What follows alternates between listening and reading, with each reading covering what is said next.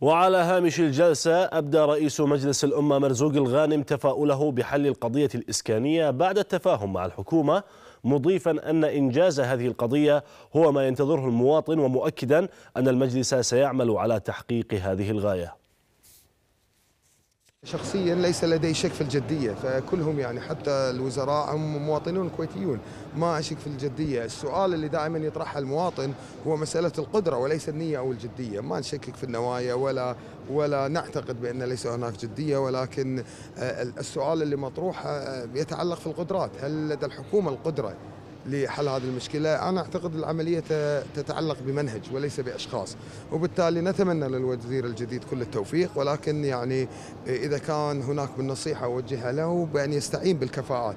وأصحاب الخبرة في هذا المجال حتى يستطيع أن يساير سرعة المجلس في هذه القضية، تغيير وزير، عودة وزير، قضيتنا لم ولن ترتبط بأشخاص، اللجنة الإسكانية ماشية، النواب ماشيين بهذا الأمر، وبالتالي يعني إن شاء الله يوفق الوزير الجديد في استقطاب الكفاءات التي تعينه على التعاون مع المجلس لحل هذه القضية بأسرع وقت ممكن إن شاء الله.